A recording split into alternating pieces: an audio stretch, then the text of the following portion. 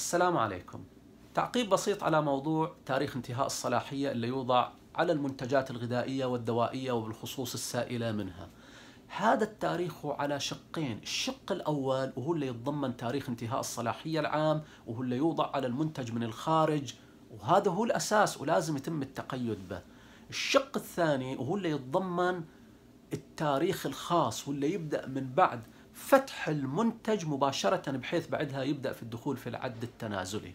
الكثير من الناس يركزوا فقط على التاريخ العام وينسوا أن هناك عبارات تكتب على المنتجات تفيد بأن بعد الفتح لابد يتم استخدام المنتج بعد هالقد يوم أسبوع أو ما شابه.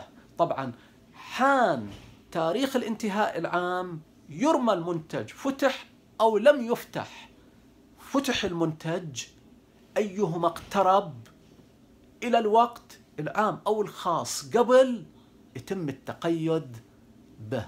نشوف الكثير من الناس وللأسف الشديد وبالخصوص في بعض المنتجات مثل المضادات الحيوية السائلة المخصصة للأطفال أو قطرات العين أو المراهم أو حتى بعض المنتجات الغذائية مثل الحليب واللبن يتم التركيز فقط على التاريخ العام وينسى التاريخ الخاص اللي هو أيضا في غاية الأهمية.